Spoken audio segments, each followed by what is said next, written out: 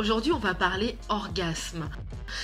On va parler des différents orgasmes qu'on peut avoir, donc orgasme anal, vaginal, clitoridien, urétral, euh, les cervicales, euh, point A, point G, mixte, sommeil, multiple, méditatif. Comment retrouver les orgasmes quand on a perdu, quand on n'a plus d'orgasme depuis quelques semaines, quelques mois, voire même quelques années, ou quand on n'en a jamais eu du tout? J'entends souvent dire une chose c'est que il existe que les orgasmes clitoridiens et que l'orgasme vaginal n'existe pas pour la simple bonne raison qu'en réalité, lorsqu'on a un orgasme vaginal, donc par pénétration, on stimule tout le clitoris et que c'est à partir de là qu'on a des orgasmes vaginaux. Et eh bien c'est à la fois vrai et à la fois complètement faux. Les orgasmes vaginaux existent bel et bien. Il n'y a pas que l'orgasme clitoridien. On va en parler. On va d'abord commencer avec un petit schéma, histoire que je vous explique un petit peu ce qui se passe. C'est parti. Nous avons ici présent le vagin. Donc lorsque l'on rentre par pénétration, il faut savoir que l'on peut aller toucher ce qu'on appelle le col de l'utérus si on a la chance d'avoir un pénis suffisamment long pour cela. Et lorsqu'on touche le col de l'utérus, on appelle ça un orgasme dit orgasme cervical. Voilà, donc il y a des femmes qui effectivement arrivent à avoir des orgasmes grâce à cela. Et il y en a d'autres, et d'ailleurs pour la majorité, qui n'apprécient pas du tout, du tout ça, parce que c'est très très très désagréable et sacrément douloureux. Et tout autour du vagin, à proximité du moins du vagin, nous avons donc les glandes de Skene, nous avons le point G, nous avons effectivement cette fameuse continuité du clitoris que l'on peut stimuler de manière interne lorsque l'on rentre dans le vagin par pénétration. Voilà pourquoi est-ce qu'on dit souvent que quand on rentre dans le vagin, on stimule à la fois le clitoris et que l'orgasme vaginal est en fait un orgasme clitoridien et que donc l'orgasme vaginal n'existe pas. Ce qui est faux, parce que nous avons également le point G, nous avons également les glandes de Skene, nous avons également donc le col de l'utérus, nous avons énormément de choses qui peuvent nous emmener à un orgasme. Donc d'un côté, on a l'orgasme clitoridien externe. Ensuite, on a l'orgasme clitoridien interne. On a l'orgasme par point G, on a l'orgasme par glande de Skene. On a plein, plein, plein, plein, plein, plein de types d'orgasmes différents. Donc, quand on vous dit ça, ce sont des bêtises.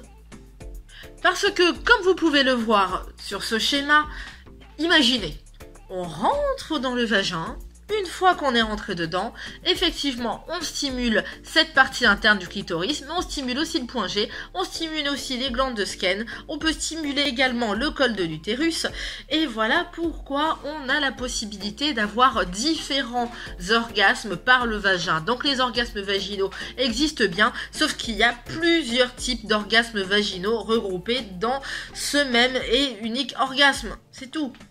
On récapitule, il existe différents orgasmes regroupés dans l'orgasme vaginal. Est-ce que je me suis assez répétée ou pas du tout? En dehors de ça, on va avoir aussi l'orgasme par la pénétration de l'urètre. Je crois que c'est le seul et unique orgasme que sincèrement je n'ai pas du tout, du tout testé à aucun moment, je n'ai pas du tout envie de tester. Je, respecte, chacun fait ce qu'il veut dans sa vie, mais je peux pas faire ça. Pour vous donner un petit peu plus de détails et vous expliquer ce que c'est, donc c'est l'insertion d'objets ou de jouets sexuels dans l'urètre. On va pas rentrer dans les détails, on va parler tout de suite de l'orgasme anal. L'orgasme anal qui est tout simplement donc un orgasme par pénétration anale. Oui, il y a des femmes qui arrivent à avoir des orgasmes par pénétration anale. Pour celles qui se posaient la question, je vous le dis, c'est un fait, ça existe totalement. Oui, oui, oui. Pour ça, déjà, il faut aimer la pénétration anale. Et pour ça, je vous invite à aller regarder ma vidéo sur la sodomie. Il existe aussi ce qu'on appelle l'orgasme par le sommeil. Donc oui, certaines personnes ont déjà eu ou ont régulièrement des orgasmes en dormant et d'autres n'ont jamais eu de leur vie. Ensuite, on a l'orgasme multiple. L'orgasme multiple, c'est quand on a la possibilité d'avoir plusieurs orgasmes d'affilée.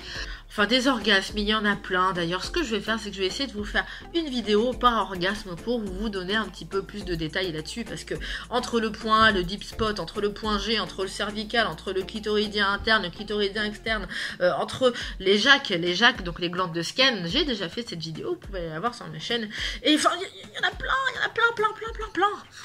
Après, il n'y a pas que les possibilités orgasmiques, vous avez aussi le type d'orgasme. C'est-à-dire que vous pouvez avoir un orgasme pleinement éveillé, vous pouvez avoir un orgasme du sommeil aussi. Certaines femmes ont des orgasmes en dormant. Vous pouvez également avoir un orgasme méditatif. Qu'est-ce que c'est que l'orgasme méditatif? On va y venir. L'orgasme méditatif, c'est une expérience totalement sensorielle. Voilà, vous n'avez pas besoin de pénétration, vous n'avez pas besoin de masturbation, vous n'avez même pas besoin de retirer vos vêtements pour une fois le partie de jambes de l'air, rien du tout. C'est purement sensoriel, c'est purement émotionnel, et c'est de la méditation en fait. Hein. C'est génial. Je vais peut-être faire une vidéo là-dessus un jour. Oui, oui, oui, je vais faire une vidéo spécialement sur ça. Maintenant, on va parler de comment retrouver des orgasmes, ou dans ce cas, comment en avoir si on n'en a jamais eu de sa vie. Chose qui arrive assez souvent, j'ai beaucoup de femmes qui viennent vers moi pour me le dire. Ne vous inquiétez pas, j'ai la solution. Déjà, il faut déterminer la cause. Peut-être que tout simplement, votre homme ou votre femme ne fait pas ce qu'il faut. Oui, ça peut arriver, euh, voilà, et dans ce moment-là, il faut en parler, il faut échanger, il faut du dialogue, il faut trouver des solutions ensemble. Souvent, des femmes viennent me voir en me disant, bah zut, moi j'ai tendance à simuler au lit, j'ai tendance à simuler, à faire semblant, parce que j'ai pas d'orgasme, dans ce cas j'en ai eu au début, puis au bout d'un moment j'en ai plus, comment est-ce que je fais pour en avoir? Eh quand on simule, du coup, c'est pas facile d'en avoir à nouveau parce que lorsqu'on dit à son partenaire que tout va bien, ben, son partenaire continue à faire les choses comme il le faisait avant. Hein. Son partenaire ne change pas les choses. Et donc, puisque le partenaire pense que tout va bien, ben, qu'il change rien, ben, du coup, on n'aura jamais d'orgasme comme ça. Alors, parlez à votre partenaire, expliquez-lui la situation. Ce n'est pas forcément de la faute de votre partenaire, ce n'est pas forcément de votre faute à vous, c'est que tout simplement votre corps a changé au fil des années et qu'il faut différentes tactiques, différentes astuces. Et en expliquant à votre partenaire que vous n'arrivez plus à avoir d'orgasme parce que bah, votre corps a changé, eh bien il va chercher d'autres tactiques, d'autres astuces pour pouvoir vous en donner. Et à vous aussi, hein, vous devez chercher d'autres tactiques et d'autres astuces dans votre vie intime personnelle. On va y venir d'ailleurs.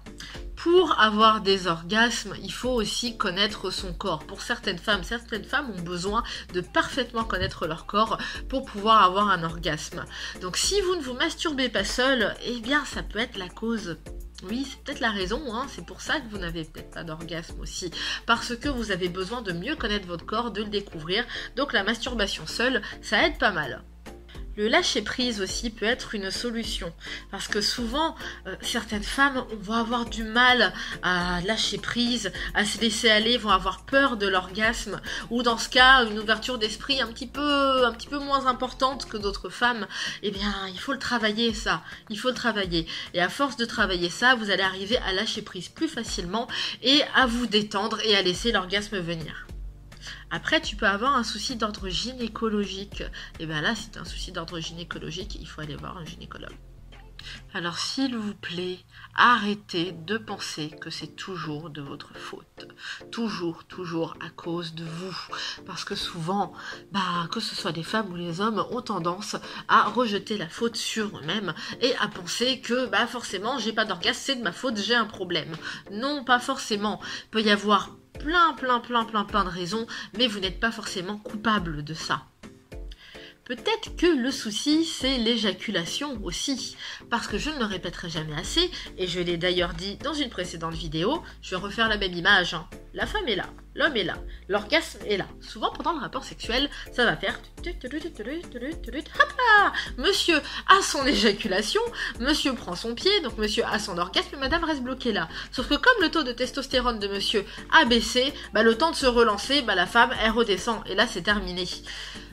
L'injaculation règle ce souci. Je te conseille vivement d'aller voir ça parce que j'ai fait également une vidéo. Décidément, j'ai pas mal de conseils vidéo là aujourd'hui. Bah oui, bah, c'est assez pratique aussi, hein, donc t'as juste à regarder l'autre vidéo et tu vas mieux comprendre.